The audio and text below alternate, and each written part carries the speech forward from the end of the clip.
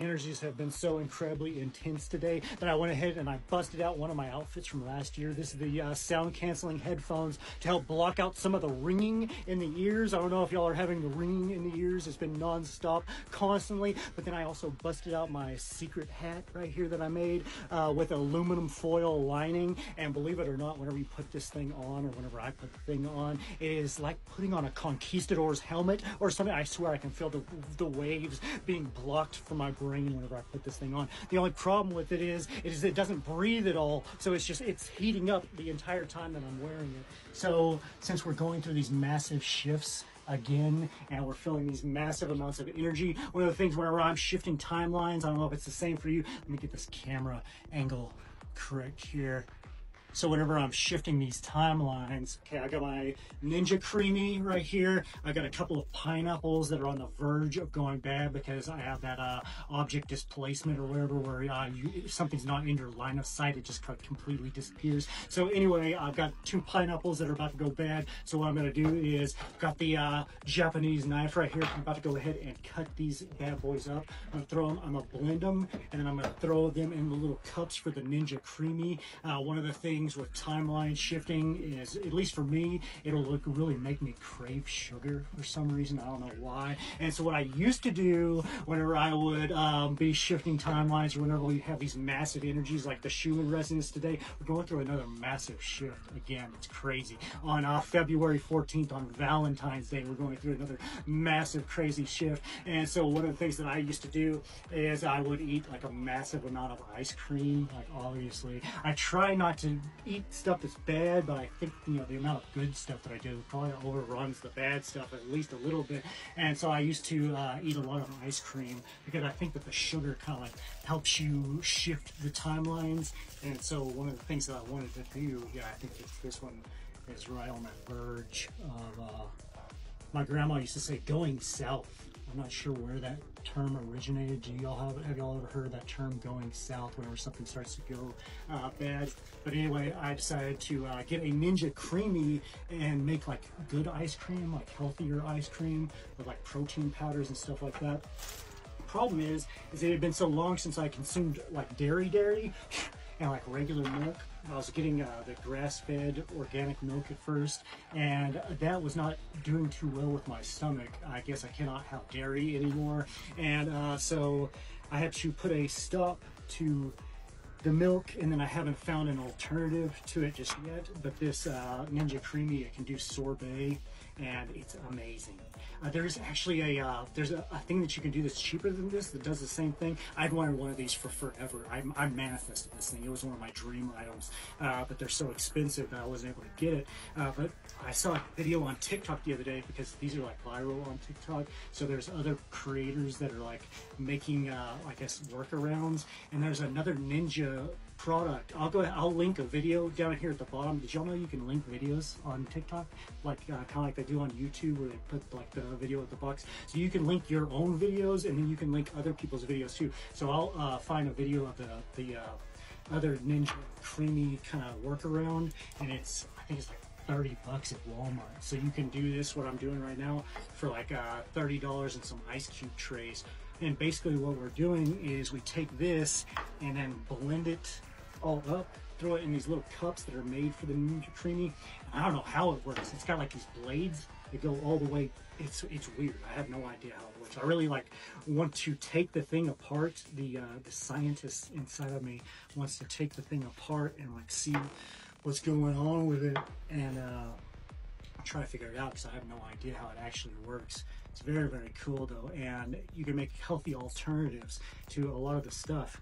And that's what I was saying about, you know, there's there's an elitism when it comes to the health world because the people that already know the information, they almost want to gatekeep the information. Like they think, oh, you, you know, you're you're going to you you got a burger at Wendy's today, and then they like try to shame you for it instead of you know being like, okay, everybody's going to occasionally make some bad health choices, like me eating half a half a ice cream uh, whenever we're shifting these timelines, and uh, you know try to push people into the positive. and that's why I to uh, you know tell people about supplements and stuff like that because it's a lot harder to get somebody to go out and like exercise as opposed to um, just going and taking a pill. It's almost like everybody got brainwashed back in like the 1950s, where the doctors were all pushing cigarettes onto the, all the little kids, and the Flintstones ads were pushing cigarettes onto the uh, to the children's, and uh, you know the doctor doctor recommended Legits or Legits or whatever the uh, the uh, kind of cigarette was. It's funny how the medical industry's always kind of been like that. You know, they always have been using their their abilities as an authority figure to control the masses, and that's all of what controlling the masses really is. It's all it's all mind control of saying, hey, it's it's gaslighting is what it is. It's, it's narcissistic gaslighting that all of these giant corporations, these mega corporations, have found out how to do, and they have done it so incredibly well and they took the work from people like Richard Bandler and Milton Erickson and other people that were not good, like Edward Bernays, when we're talking about propaganda. Edward Bernays was Sigmund Freud's nephew. Okay, Sigmund Freud, who was a weirdo, in my opinion, you know, the father of modern psychology. Modern psychology really doesn't help anyone because all it does is it gets people to focus on their their problems, uh, what is has been going on in their past, and like let's let's go in and analyze this, and we'll, we'll delve into all that. That's why I don't like a lot of the shadow work that goes on because it says, okay, with neurolinguistic programming, what you do is you take a person and instead of focusing on their past, you say, hey, what kind of person do you want to be? What is your ideal person? If you could be someone in five years, what would that person look like? What would they walk like? What would they talk like? What would they act like? And if you want to be that person, then all you have to do is you have to just start imagining yourself as that person and start making the decisions of that person would make. Just like those old "What would Jesus do" bracelets. Instead of it being "What would Jesus do," be like, "What would you do if you were your ideal self?" And then you just have to start making those decisions and acting like that.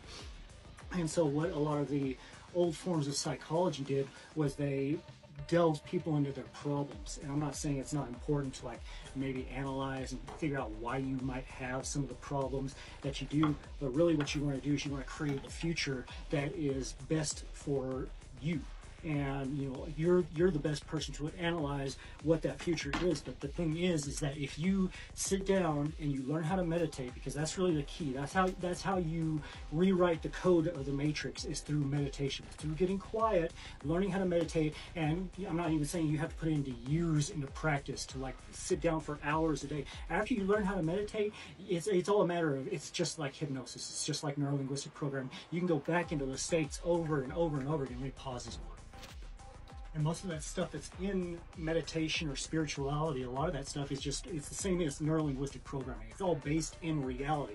And since all these different forms it's just like weaves of a web are all spreading out. They're all from the same form of reality. And so you can do the same things with deep meditation that you can do with neurolinguistic programming. It's just you could do it a lot faster once you learn how to control the mind. And that's the thing is we're when we're all little kids, we should all be taught in school how to control your own mind, if, if at the very least, because you need to know how to put yourself into a happy state. You want to know how to put yourself into a happy state? You can do it right now. Okay, I've, I've, I've used this technique to get jobs from in job interviews. I'll put it on my resume. I stopped putting it on my resume because it, it, was intimidating. Of course, now I don't need a resume because I just make money. You know, I get paid to exist now because I know how to manifest. And so, what you want to do if you want to put yourself into a really good state, okay, you can close your eyes, think back to a time of when something really good happened to you and the thing with really advanced people is they'll have a whole list of things and memories that they can call back upon to pull these good feelings and these good emotions whenever they want to recall them. So if you go back right now and you think of something amazing that happened in your life and you close your eyes and you see just like you were seeing whenever you were going through that memory. You see through your eyes just as if it was happening to you right now and you can replay it from the moment that it starts and run through it in your mind and imagine that your mind is a giant 4K TV and you can turn the brightness up, you can make the sounds more crisp, and you can really relive all of those emotions and those feelings and just let that good feeling just spin right through your body. And as you do this, you can squeeze your thumb and your forefinger together, and this is called an anchor. And whenever you want to go back into this state of feeling this incredible bliss just circulating through your entire body, all you have to do is squeeze that your thumb and your index finger, and you'll go back right into that state.